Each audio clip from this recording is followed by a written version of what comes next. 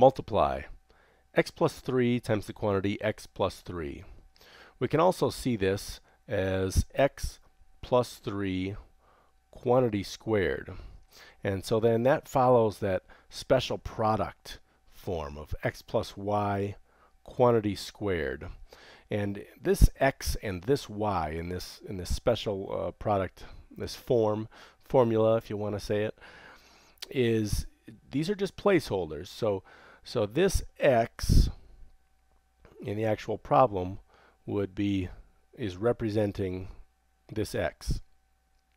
And this 3 is representing this y. So we could have uh, anything here. We could have 4a to the third instead of x. And, and instead of the y, we can have um, 15 or, or 15z to the fifth. It doesn't matter. Everything follows the pattern just the same. You just kind of plug in and it's going to get give you x squared plus 2xy plus y squared. And so we could do that here. Um, you can also just FOIL this, this x plus 3 times the quantity x plus 3. I'm going to go through and just follow the pattern, just uh, presumably you are familiar with foiling enough. So let's just follow this pattern so, so we're familiar with that. So in this case, the, the y is the, the 3.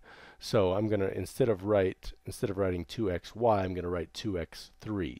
So let's write um, x squared plus 2 times x times y, or the 3.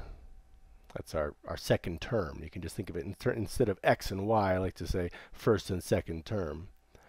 And then plus 3 squared. And then, of course, you can simplify that as x squared plus 6x plus 9. And you'd get the same thing if you FOILed, and that's fine. And uh, on the second one, you get x minus 3 times the quantity x minus 3. And that can be rewritten as x minus 3 quantity squared. So you recognize that as a special product. So you've got this x minus y quantity squared. I I personally like to only memorize one uh, one of these special products, this x plus y quantity squared among these two, because x minus 3 is really the same as saying x plus negative 3. But people, different people remember things differently, so if you like to remember both of them, if that's easier for you, then that's great. So we've got x squared minus 2xy is the way this works, uh, plus y squared. And the reason it's plus y squared is because when you get down to the bottom here, or to the end, and you multiply the negative times the negative, you'll end up with a, a positive. Uh, the, the negative 2xy sticks around because you're adding. Let's just run through real quickly. Uh, FOIL on this, you would have x squared minus minus 3x uh, minus 3x because of the x times x and x times negative 3 and then negative 3 times x and then negative 3 times negative 3 is positive 9. So it follows really the same pattern as the problem we just saw but we've got a, a minus inside on that second term. So you can memorizing these to for multiplication is is okay. It works. It's great. I like to just FOIL.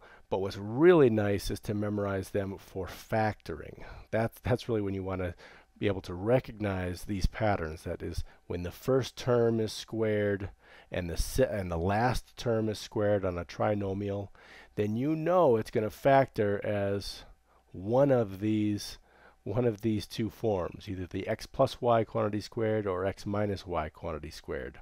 And you'll know that by uh, determined by what what is right here. It's the middle term is is either plus or minus. And we, of course, we also have to look for not just the, the first and last term being squared, but also the middle term has to be uh, that coefficient has to be 2 times the square root of the last term. So we've got 2 times 3. Uh, it, more specifically, it has to be 2 times the square root of the first term times the square root of the uh, second of the last term. Okay, so so really the the um, the the reason you want to memorize these special products is for the factoring. Now this special product, x plus 3 times x minus 3, it does make it a lot faster to memorize that special product when uh, when you're multiplying this is the product of a sum and a difference. So if we were to go ahead and multiply, this would be x squared, and then x times negative 3 is minus 3x, and then 3 times x is positive 3x, and then 3 times negative 3 is negative 9. So after you do a, a couple of these, you'll start to recognize the pattern that, hey, that, that middle term, or that x term, is going to drop out. The x squared term sticks around, but that, that middle term drops out. And so you start to recognize this. When two factors look the same, look very similar, except one is plus and one is minus, one is a sum and one is a difference, then you get this difference of squares, is what this is called. Difference of squares. And I'm going to show this one just a little bit differently just because this is really great to memorize when you are factoring because it if you don't have this one memorized it sometimes it, it'll trip you up a little bit. It doesn't have to. I don't want to freak you out but uh, but it's very nice to have this memorized. So you, if you have this x minus y again this is just the pattern. X ah let's back up that's x squared. If you have this pattern of x squared minus y squared, so in the math world, we're not real creative. We call it a difference of squares. It's it's got uh, two squares and it's a difference of those two. Then those are going to factor as x plus y. I should say that polynomial is going to factor as x plus y times the quantity x minus y. So that is really a good thing to have in your toolkit when you're factoring. So there's a little bit about special products.